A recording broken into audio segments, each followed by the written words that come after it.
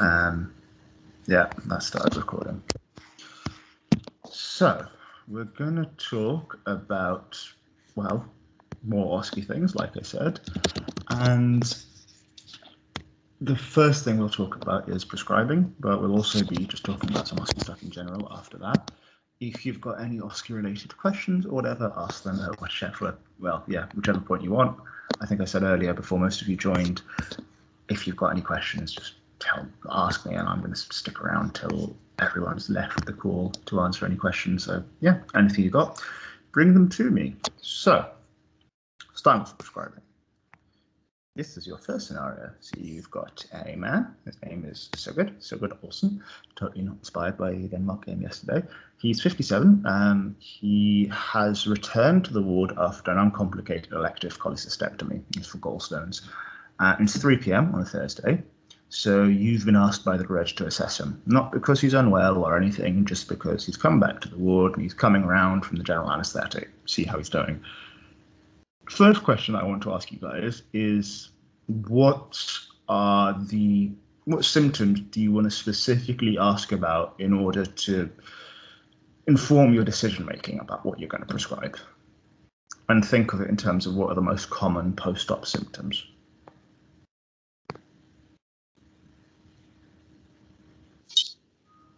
What Sylvia got? Pain, dehydration, any signs of infection. Pain. Let's go for pain, nausea, good. Vomiting, temperature, good. Excellent. You've basically covered the most important ones. I wanted shortness of breath, good. So basically, general practice, anytime you're seeing a patient, what you're going to do what's step number one? I know it's defined for assessing the acutely unwell patient, but just good practice. It's a nice little stepwise thing to follow. Even if it's assessing a relatively stable patient structure, so you can pick up on things. Yeah. So like have said, you do your A2E assessment, and you've noted most of the important symptoms. Pain's a really important one why is pain why is managing pain quite important in post-op patients? There are certain things that people don't do or don't want to do pain. So can decrease or increase respirate further problems. So roger you've mentioned it can cause atelectasis what's the mechanism for that? Affects recovery. That's good. Excellent. When we're in pain, you don't want to move around as much. Moving around is quite important post-op, reduces VTE risk, all that stuff, returns you to your functional baseline. It hurts to breathe, particularly if it's upper abdominal or thoracic surgery. If you don't breathe as well, you don't take in as deep breaths. If you're not taking in as deep breaths, you're more vulnerable to infection because you're not clearing stuff as well. Uh, so pain's impo- crucially important to deal with. So pain, Nausea as well. Nausea is incredibly uncomfortable and distressing. And you've mentioned some other really important ones which come up during the A2E assessment, like shortness of breath, things like signs and symptoms of infection, which in the OB. So these are all crucial, which is excellent. Um, thinking about infection actually after an operation, if somebody did develop, let's say, a wound site infection or an infection because of, let's say it's abdominal surgery and there's been contamination, so a sterile field hasn't been maintained. How quickly do you reckon infection will come on? This guy's just come off of, um, like, there's maybe come out of the theatre an hour or two ago. Do does. Yeah. So if, for example, um, there'd been some contamination due to they'd perforated the abdomen or something, and some abdominal contents and gotten into the surgical field, and somehow someone hadn't noticed, which is incredibly unlikely you probably wouldn't notice immediately. In fact, by now the patient might not even be showing signs. It might be a couple of hours later, sometimes in the first 24 hours. A wound site infections in the first few days, a deeper infection can take even longer to show. But so it's always good practice to track temperatures. But within the first few hours, you're unlikely to find anything. Excellent. Right. So we've covered the most important ones, stuff that come up in the A2E assessment, which is mainly OBS and things like chest pain and shortness of breath and whatever. But just the more being a nice human being, facilitating recovery by getting rid of distressing symptoms. So we're talking about stuff like, are you feeling nauseated? Are you feeling thirsty? Can you, you know, do you think you're able to eat? Things like that. Excellent. So those are the most common post-op things. So pain, nausea, and vomiting. You might also, after abdominal surgery, get stuff like constipation. What's the most common cause of constipation after abdominal surgery? Why do patients who get abdominal surgery get constipation?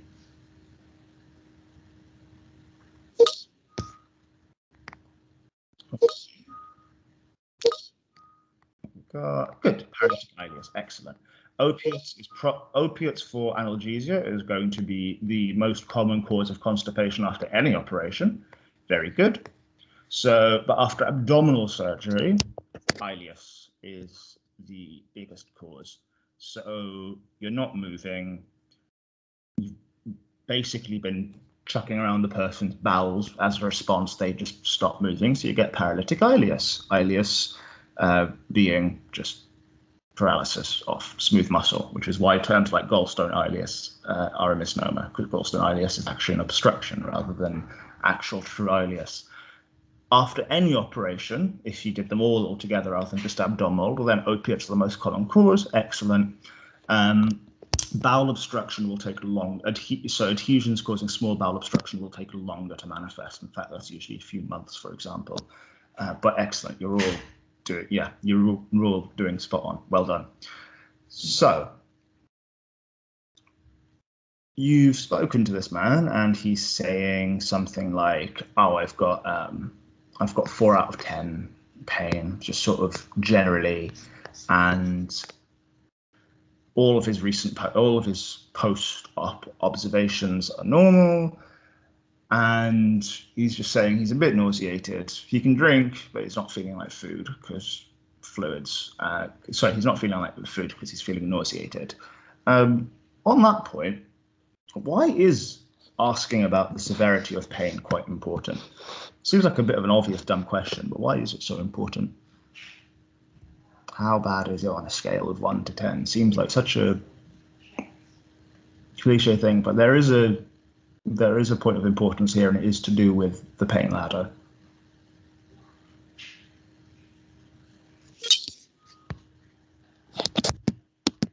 Yeah, good. So Sylvia's made a really good point. It helps you because it's quantitative. It helps you track progress. But Zach has made an excellent point, which is informs you which rung on the ladder to start from. Because often we're taught start, you know, start low, go up. Start with your um, start with your sort of lowest, mildest analgesics. But none of us, if a patient came in and they'd snapped their humerus in half and they're screaming in agony, would go, I'm going to try some paracetamol and ibuprofen before I move on to codeine. No, that person's getting morphine straight away, which is why it's really important because something I think which a lot of people get hung up on, especially in fourth year, is um, can I go straight to this before trying this? And in the case of pain and prescribing for pain, yeah, you absolutely can. If someone's in agonizing pain, then you're going straight to morphine. Even if, even if you're thinking, oh, I haven't given them paracetamol or anything yet. Well, if you know that paracetamol is not going to touch it, then absolutely go to cocodamol. And if you think, actually this is really really strong pain like this person's come in with a with a sequestration crisis because of sickle cell you're not giving them ibuprofen you're going straight to morphine so excellent that's why asking about the stratification of pain is really really important for this bit and this is a reasonable OSCE station for example you've been told this much information um, let's add on to this um, so his obs are all fine but you've also done the really important thing of doing a fluid status examination, which I forgot to put in there, and he's euvolemic from that.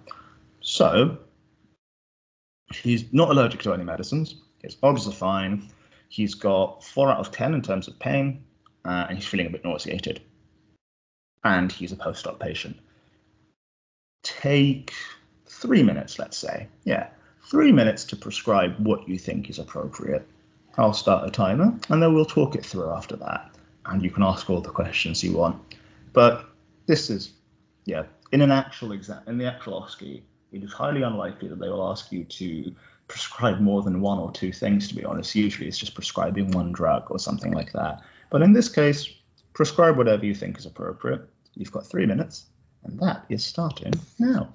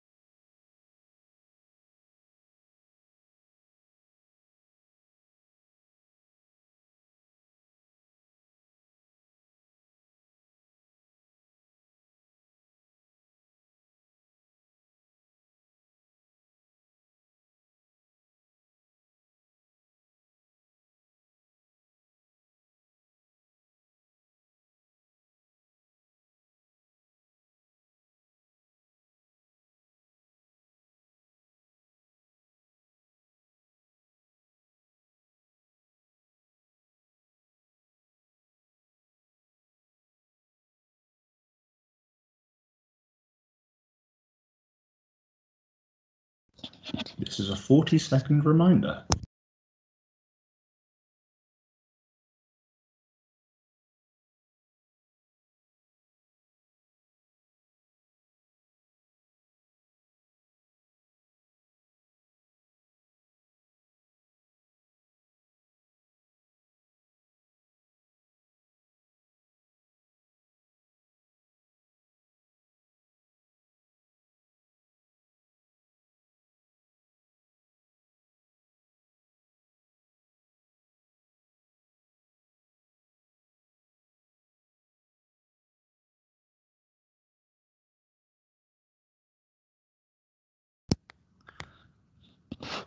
Right, that brings us back. So let's start off with what did people think in terms of uh, actually yeah no better way to start.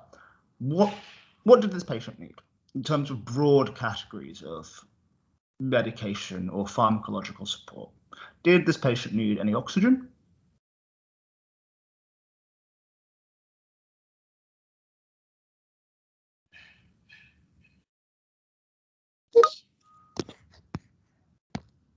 Yeah, perfect. Did this patient need uh, any VTE prophylaxis? Soma, you don't want to say no oxygen, you say no oxygen because there's absolutely no need for oxygen. You're right. Yeah. Did this patient need VTE prophylaxis? Yes, perfect. He needed VTE prophylaxis because he's a post-op patient. Wonderful. Excellent. Uh, did this patient need any antibiotics?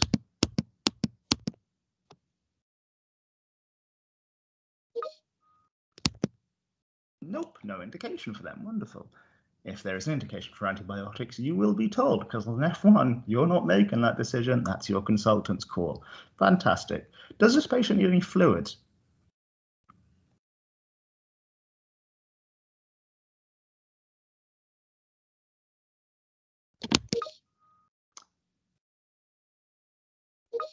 Okay. So doesn't need fluids. Why? Do, so you'd re, yeah, you'd review. Why doesn't he need intravenous fluids? So sorry, maybe I should have sorry, someone. Maybe I should have specified. Does he need intravenous fluids?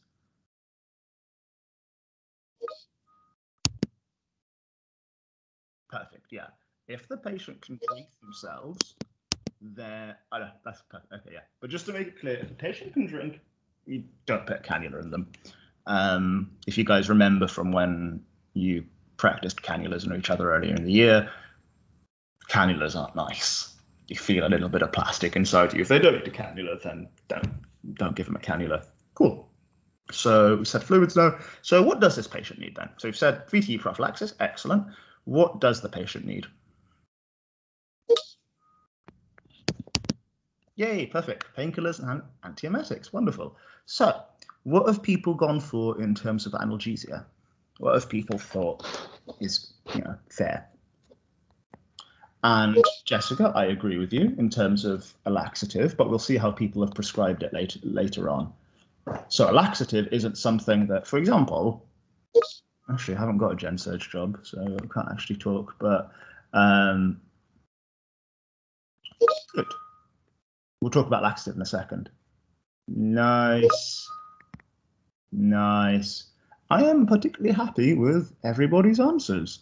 So I'll quickly put up, look, I'll put, I'll put up what I would have put.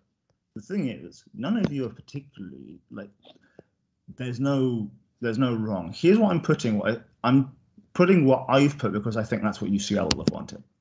So on the regular, which is top right, I've put regular paracetamol and ibuprofen. Four out of 10 pain, mild, moderate. And so Sylvia, I completely agree with you. I don't think that's too low down. Paracetamol, ibuprofen, it's the F1's favorite. That should cover all pain around to a like five out of 10 thing. Then, if you're worried that uh, maybe the patient um, might feel more pain or maybe they're understating their pain, you can always put something stronger PRN. And that's something that I want you guys to take away from this. If you're thinking, oh, maybe that's not enough, maybe paracetamol's not enough, then if you want to, just put on a PRN painkiller, which is a bit stronger. stronger. So in this case, I've gone for codeine. So Zach, you said weak opioid, perfect. And put that on the PRN side. And the easiest thing to do is just to note that if the patient is using their PRNs a lot, then you can make it their regular. So, oh, this person's now using their codeine four times a day. What can I prescribe now?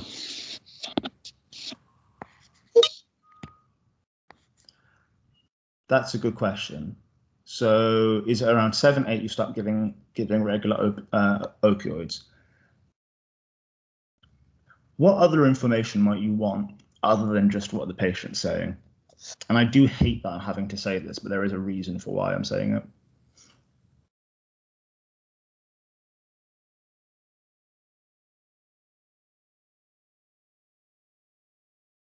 So yeah, like if somebody was saying I've got like nine out of ten pain, I'm thinking, uh, yeah, probably should be giving you an opioid. Yeah, have they tried it? Have they tried anything else? But also, do they look like they're actually in pain?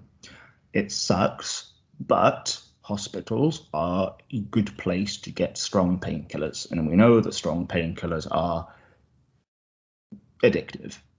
So people may come in looking for um, people may come in looking for morphine, for example. If someone's come in, they're saying, oh, "I've got really, really bad pain," and you're looking at them, you're thinking, "I don't know, I don't know Mm, I'm not sure. Usually, you can tell if somebody is in is in agony. I don't know if anyone, for example, this year seen somebody with a kidney stone.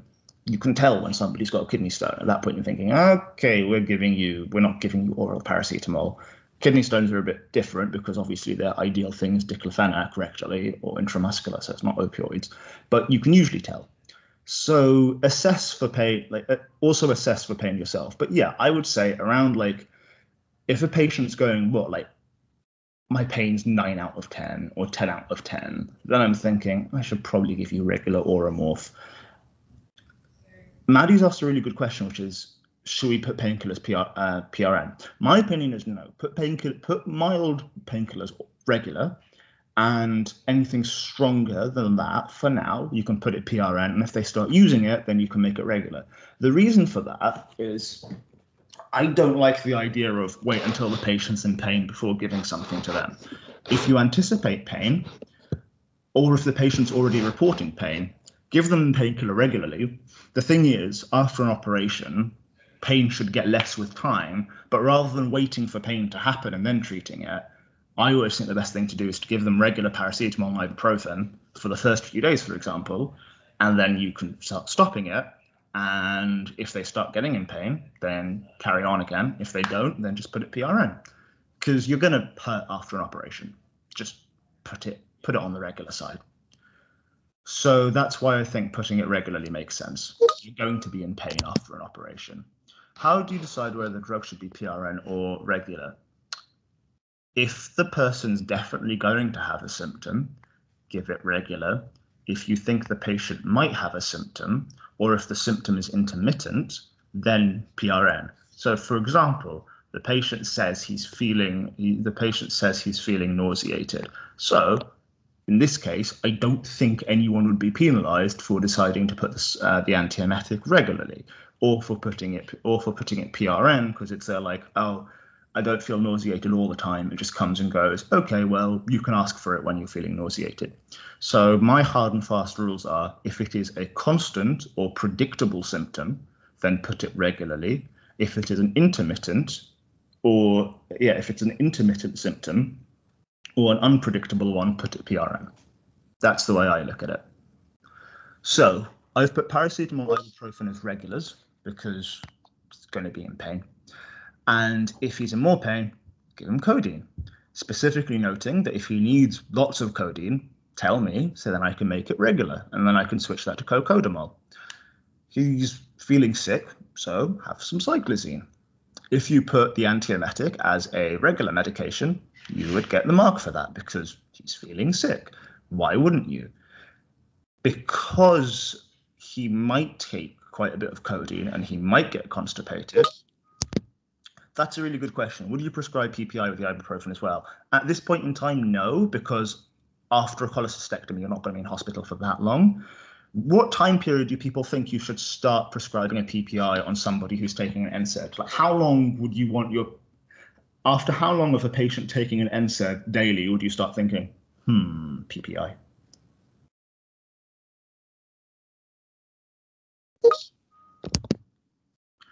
So four weeks is a solid bet. I would generally feel I would so what Patrick's gone for. So two at, at about two weeks, I'm starting to feel like, oh, maybe I should put you on a PPI.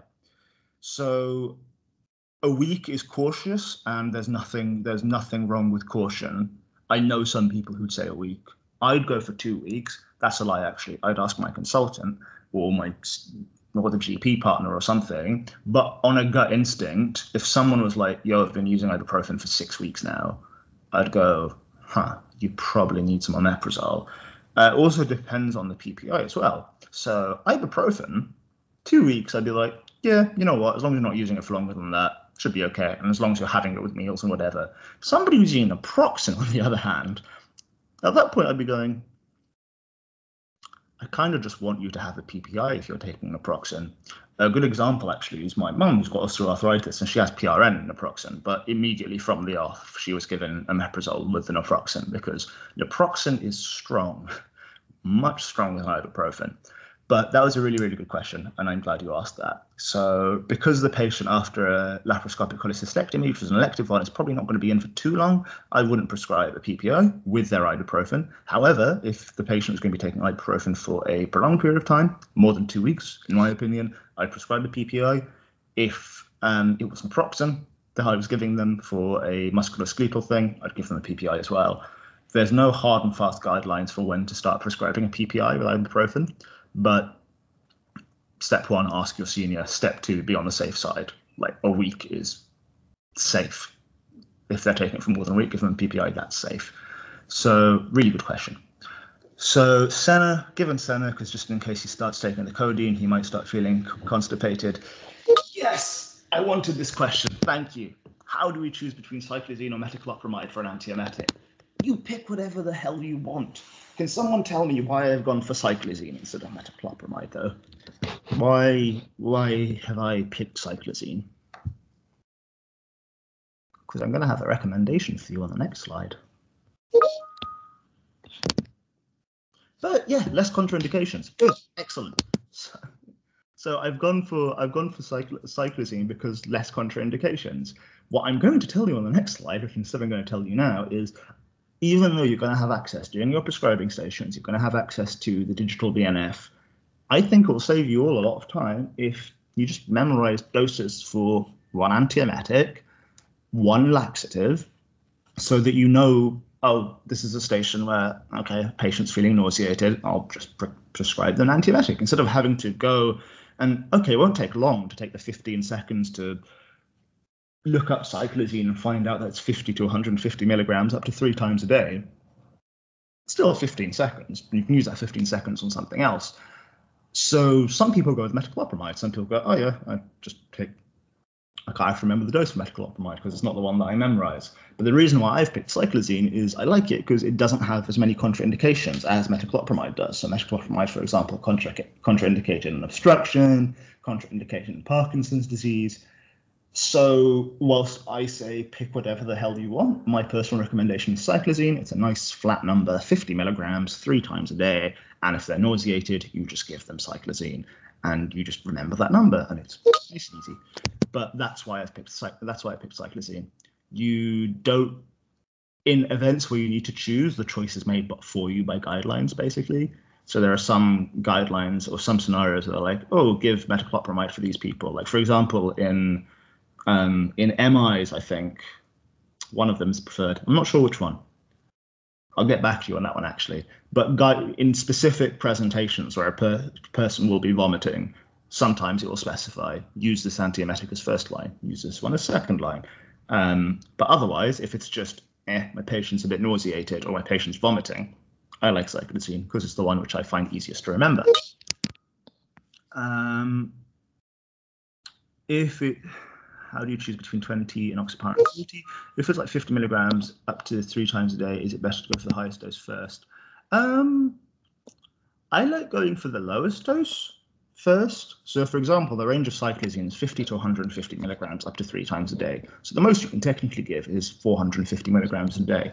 I like starting with 50 for in cyclizine's example. In cyclizine's example, because if it works and they're not getting any side effects, then great. Whereas if I started at 150 and it worked, but they were having side effects, then I'd kind of have to then go down and try, okay, what about 100? Okay, 100 sounds right. Whereas I think it's more pleasant for the patient where they don't need to, where they don't need to, um, they don't need to worry about uh, side effects. So if I started at 15, it's like, I still feel a bit nauseated. I can go up to 100. I start at the lower number just to minimize the chance of side effects, and if it works, then it works. Um, how do you choose between 20 milligrams and 40? So that was in the BNF. So for a general surgical patient, it is 20 milligrams of enoxaparin. For a orthopedic patient, it's 40 milligrams. For a medical patient, it's 40 milligrams, which is why most of you will have seen 40. Um, but that's literally just based on the BNF. Do you write anything in the additional information section in this case? So for cyclizine and for Senna, I wouldn't because there's not really anything I need to say for that. Does it matter what time you schedule drug administration? So in an OSCE, no.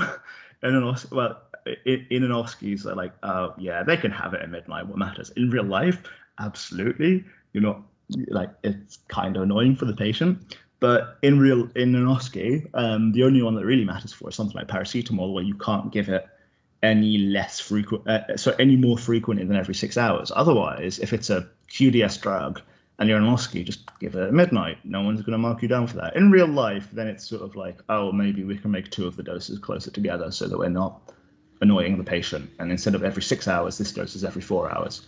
But in an OSCE, give it at midnight. Doesn't matter. Space it out. Uh, for the PRN section, yep, you can put the range of dose, and that is something which can be done for things like uh, opiates, for example, like oh, um, give them 2.5 milligrams of Oromorph, but if that doesn't work, then next time give them five. So in the in the dose part of um, in the dose part of PRN, on a PR on a yeah on the dose part of PRN you can put a, you can put a range. In regular, I haven't seen ranges given. It's only on PRNs where I've seen ranges given but you can definitely put the range of a dose um, on PRNs. However, I will point out it's not regarded as good practice, and the pharmacist will call you out on it if you do it. like it's not illegal, and the nurses sometimes do like it. I've seen some of them be like, "Yay, they put a range. This is nice," because I know that my patient likes the higher end of the range, and I don't have to call up the doctor again to ask. The pharmacists don't like it, however. So good practice is to only put one number and not a range of numbers. Does that hopefully that's answered all the questions. Let me just double check. We've talked about why I chose cyclizine. Maddie asked, um, is it best to go for the highest dose? I prefer going for the lowest dose to minimize the chance of side effects. Um, and that's, I think, answered all the questions. Any more questions about that? Go for it. We talked about why it's 20 because that's what the BNF says. Um, if it's a medical patient, then 40. However, bear in mind, for example, that in my fourth year prescribing station, it was prescribed VT prophylaxis, but they threw in the curveball of this patient's GFR is 43. I think it was 43, and then you had to adjust for you had to adjust for dose. Um, is Senna the best best laxative to go for? Laxatives are an annoying one, and again, this is a question I'm glad you asked because um, Senna is the one you'll see most often in hospitals, and that's why I like uh, I like going for it. Um, also because you can just give it as a pill. The other one you'll see most often is Macrogol, but Macrogol is actually indicated for chronic constipation rather than for acute constipation. So Senna is the one I like the most because it's a pill, um, whereas Macrogol is sachets, and just like the idea of prescribing stuff in milligrams. Uh, and Senna doesn't really have contraindications apart from when would you not want to give somebody Senna actually, considering its mechanism of action? That's a roundabout way. My answer is Senna is the laxative I go for because it's a nice 7.5 to 15 milligrams, and I always put 7.5 and just once a day rather than two sachets at this time. Yeah, you don't want to use an obstruction because Senna is uh, it's a stimulant laxative, um, but you're probably not going to be giving somebody a laxative obstruction anyway. Okie doke. If anybody's got any more questions about that stuff, then ask. Just real quick, we've already talked about this bit why it's really important to assess the severity of pain. And for the OSCE, my recommendations are remember the dose of paracetamol, remember the dose of ibuprofen, pick an antiemetic, um, laxative. I'm less keen on memorizing one because it depends on the scenario. Like we said, you're not going to give somebody Senna if they've got obstruction. But the one that always comes to my mind first is Senna. It's either going to be Senna or Macrogol, and the other ones like lactulose and Docusate and whatever I've seen more in specific scenarios rather than in particularly generally. How do you adjust VT prophylaxis and renal impairment? You look at what the BNF tells you to do, or or they give you local guidance. So, for example, uh, for things like an enoxaparin, on the BNF it just says reduced dose in renal impairment, which isn't very useful. In the OSCE, it said here is the local guidance for uh, for prescribing enox- uh, for prescribing enoxaparin based on um, yeah, base adjusting for renal impairment. And it said, if GFR below 45, half the dose. And you just did that. So sometimes it can be quite nice in the OSCE and they will give you the information that you need. So in real life, how would I adjust it in renal impairment? Ask my reg or look at up to date or something because the BNF isn't very helpful in that case. In the OSCE, they gave me the information for that. So if they want you to adjust for renal impairment, if the BNF doesn't say it, they'll give you an example of local guidance. Same thing with antibiotics, for example. If you're worried, wait, what antibiotic do I give if a patient's penicillin allergic? In the OSCE, they'll say, here are your local, you know, here are your local guidelines for the good hospital. If patient is penicillin allergic with a CURB score of three plus, give them this antibiotic.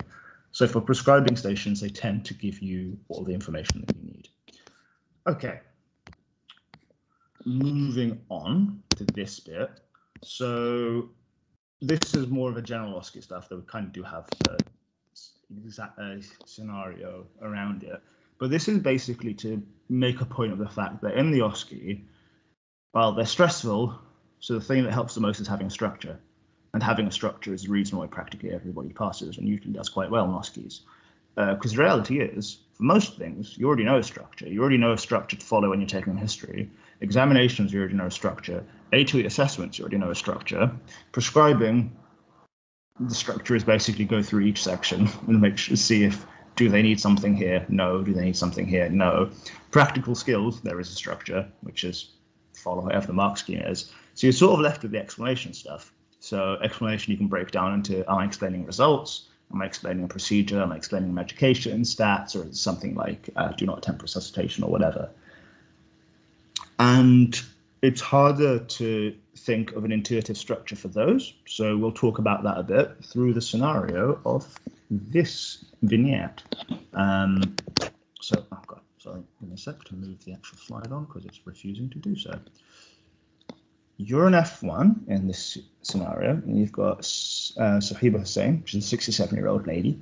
She's had a STEMI and she's been discharged with Ramipril, bisoprolol, atorvastatin, and aspirin, and cloppy, and she's never had any of those before.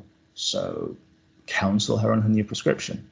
You won't get this as an OSCE station because there's five medicines here. In an OSCE station, you'll probably only have to tell her about one of them, at most maybe two. So we'll go through this together, all 43 of us. Let's assume you started off that, you know, hi, my name is, I'm one of the F1s, etc. How do you want to start off? And this is something which is consistent for all explanation stations.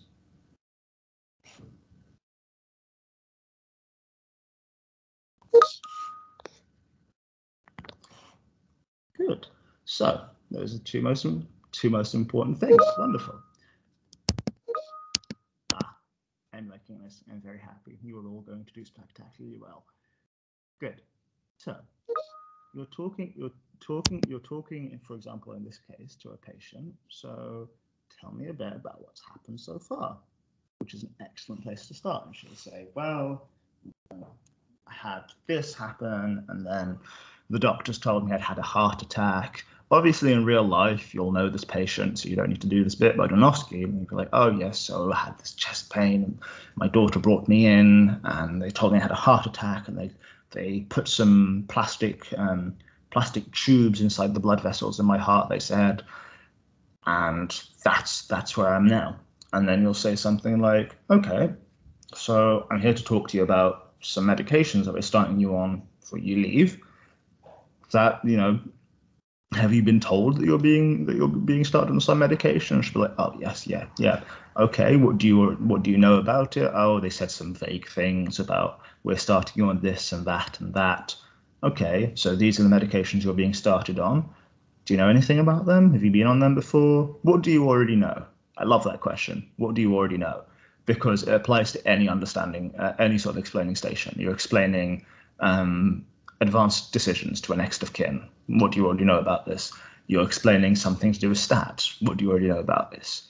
That's an excellent question because it completely frames the level at which you're talking at. Inevitably, in an OSCE station, I'll say, I don't really know anything, but it's really good to ask it. You get a mark for it. And it's really, really good in real life. Okay, so Sahiba said, um, I don't actually know anything about these. I don't actually know anything about these medicines. I've never taken any of them before. So now we're sticking on explaining medication. What should we, what's our next step? Imagine we were doing this one by one for each drug. So we know that she knows nothing about these medicines. She's never been on them before. What do we, what do we want her, what do we want to, how do we want to go through, go about this?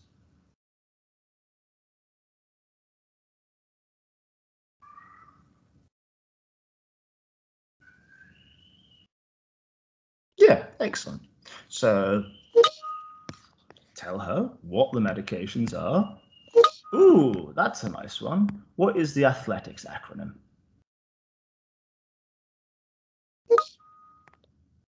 What is the athletics acronym? It's been a while since I've seen that one. In cases like this, acronyms are useful. I don't use an acronym because I like approaching it sort of systematically, and I feel like this is quite an intuitive one for this, which everybody else has everybody else has covered. So step one, like most of you have said, what is what is the drug? You know, this is a drug called Ramipril. Some people might like to say how it works. Again, depends on depends on your audience. Wow, you've basically covered everything. Well done. So step two, what you know, what's it for? So here is a drug this drug is called eh, this drug is called bisoprolol. We give it because it slows down people's heart rate and it makes it easier for it makes it easier for their heart to beat. We are giving you this drug because you've had a heart and because you've had a heart attack, and that means that it's a bit harder. For, it's going to be a bit harder for your heart to do its job now than it was before you had the heart attack. So we want to make things as easy as possible for it going forward. So that's covered the how will it help her how will it help her symptoms. So we've done that. So we've said this is what the medicine's for. This is this is um, what's it? Yeah, this is what the medicine's for. This is why we've prescribed it. This is why we've prescribed it to you. Next step is telling the patient how long she'll be on the medicines for. So off those, you know, in terms of those medications, how long is she going to be on them for? Those five medicines.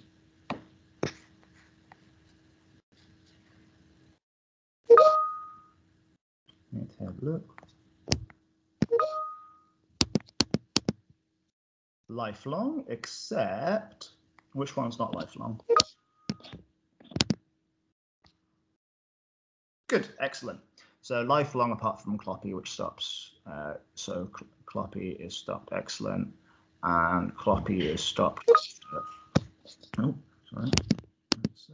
Yeah. So lifelong except Cloppy. Uh, so the clopidogrel or the ticagrelor or the prasugrel, or whichever one you're prescribing, other than the aspirin, will stop after a year. So this depends on the type of stent that's been put in. So if it's a regular stent, it stops after a year. If it's a drug-eluting stent, so there are certain stents which um, secrete uh, antiplatelets medication, then it's six months. So depending on the stent she's had, it's either six months or one year that she's taking the, uh, the clopidogrel for. Excellent. Okay. So that's how long. Common side effects. So let's think about this. Ramipril, common side effects. Hit me.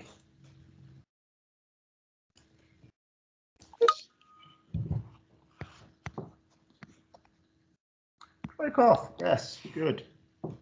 What else? What's a common side effect of any any hypotensive? Hmm,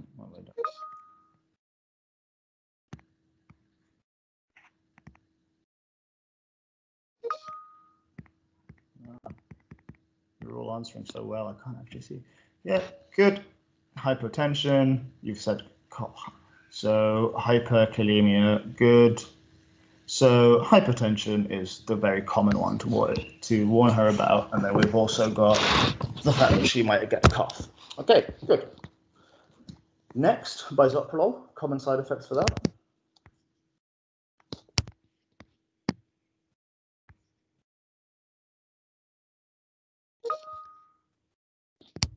Bradycardia, good. What else? We've already said stuff like her blood pressure dropped low. What happens when people's blood pressure drops low? What do they feel? Cold fingers, good. Yes, cold extremities, nice. Yes, cold peripheries. Don't worry, Soma, you don't just think it, you know it. That's two times in a row, well done. Uh, good. Sleep disturbance, good. Lethargy, wonderful. Erectile dysfunction nightmares, correct, yes. So erectile dysfunction in men can just lead to a degree of um, sexual dysfunction in general. So because the sympathetic nervous system modulates orgasms, women can get anorgasmia, and men can get anorgasmia, and men will get erectile dysfunction as well. So warning people generally do be mindful of warning people about sexual side effects. There are lots of complaints about people not getting, you know, oh, I started this drug and nobody told me that it would kill my libido, or I started this drug and nobody told me that it would make it hard for me to get erections. So don't skirt around them because people do complain about that, and everyone obviously has a right to know. So common side effects, good. Uh, atorvastatin, what's common? Don't tell me the serious ones. Tell me what's common. Yeah, myalgia, excellent, good. Uh, and then we've got, yeah, good myalgia, myopathy, myopathy on the more serious side of things. Cool. Uh, aspirin and clopidogrel. What's the common side effect going to be? The common side effect is also the would be contraindicated? Yeah, so beta blockers are not a good idea in people with Raynaud's. Excellent. Yeah, so So good question, Soma. So it makes things a bit difficult because beta blockers aren't a good idea in Raynaud's. Uh, ulcers and bleeding. Excellent. Good. Ulcers and bleeding are also the serious side effects of uh, as uh, aspirin, and bleeding is a serious side effect of clopidogrel. Uh, serious side effects of bisoprolol, what people have already touched on, uh, bradycardia, so heart block. Serious side effect of ramipril, people already touched on. Um, people already touched on hyperkalemia. Good, and then serious side effect of atorvastatin. What's the serious side effect of it? Well, serious side effects of atorvastatin.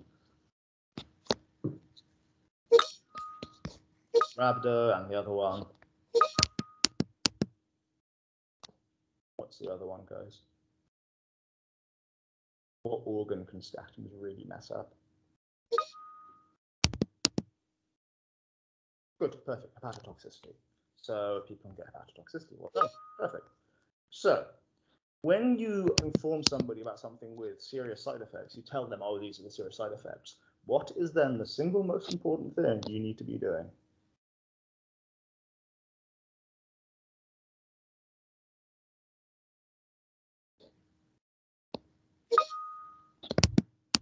Safety netting, excellent. Safety netting is the single most important thing. So reassuring that common, you know, this is a common symptom. It might be alarming, but it's common. These, this is a serious symptom. If this happens, I need you to come back, or I need you to go to A&E, for example. So safety netting, it, what happens when you experience these side effects? So for example, cough with ramipril, this is normal, but if it starts to bother, if it starts to bother you, then you can go to your GP and they might be able to switch you for a different medication. However, if you are having muscle pain, which is not going away, and you're feeling really unwell, go to the emergency department. You might be having rhabdomyolysis. I'm Not saying that. Okay, perfect. Uh, what goes hand in hand is with any medication which has potential serious side effects is monitoring. And somebody mentioned earlier if they need any monitoring. Uh, which one of these medications need any sort of uh, monitoring attached to them, if any.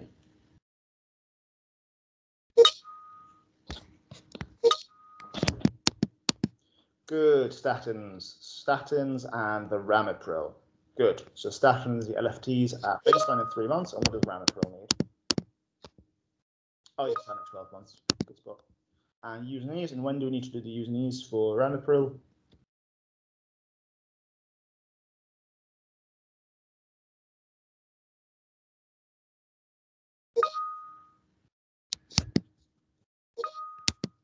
So it's at baseline and two weeks. And we're looking at the GFR and the creatinine. If you started the ramipril for somebody and two weeks later their creatinine's gone up and their GFR is blocked, what might they have? Why might it be that their renal function has deteriorated? Yeah, good. So they might have renal artery stenosis uh, if they are a person who is older, you know, who's in their 50s, why might they have renal artery stenosis? 50s, 60s, 70s, what's the most common cause of renal artery stenosis in that age group? Good atherosclerosis. If they're a, you know, young person, say a woman, perhaps, what's the most common cause there?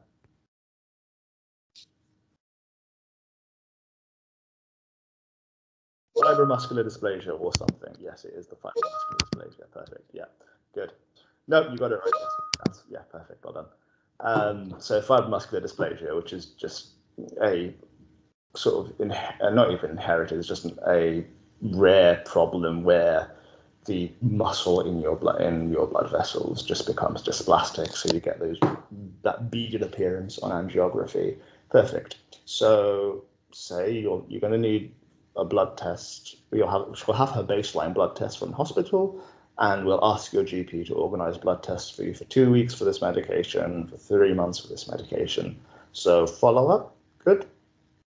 Somebody has mentioned avoidance of certain things. So when you're on a certain medication, there are certain things you're going to have to avoid. So certain foods um, or drinks. So for example, if you're on something which is affected by P450 uh, system, then obviously grapefruit and cranberry juices are a problem. Certain activities. Um, so who can think of certain activities that need to be avoided in terms of being on a certain class of drugs? Because activities is an interesting one. Why might certain people not be allowed to do certain activities whilst they're on certain medications?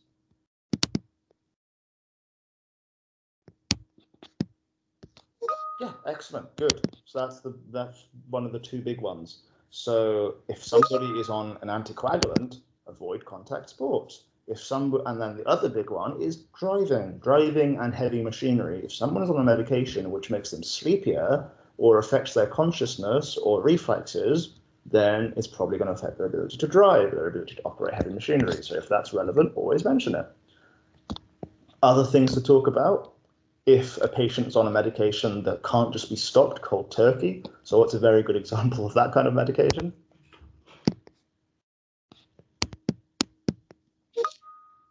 Steroids, yes, wonderful. Never forget the steroids can't be stopped straight away. Excellent.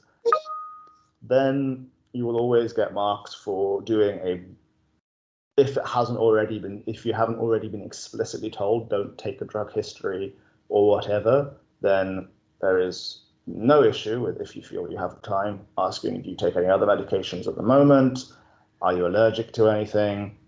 What's the important thing? If somebody says i am allergic to a medicine what do you need to do?